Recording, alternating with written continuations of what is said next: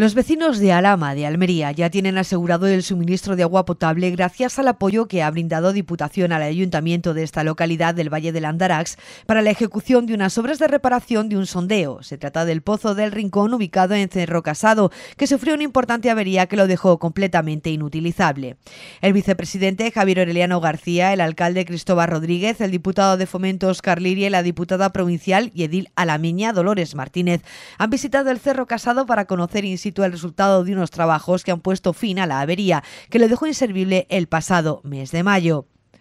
En concreto, se produjo una avería en la bomba que se trató de reparar con la extracción de la misma y no se pudo volver a instalar debido al mal estado del encamisado de acero existente. Para poder poner de nuevo en servicio este sondeo se ha hecho necesaria la limpieza del mismo y el reentubado hasta una profundidad de 154 metros con tubería de acero al carbono de 500 de diámetro interior.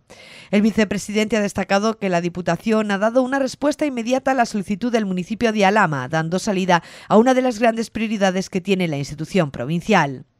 Estamos dando eh, salida a una de las prioridades que tiene la Diputación Provincial de Almería, sobre todo que estamos en pleno siglo XXI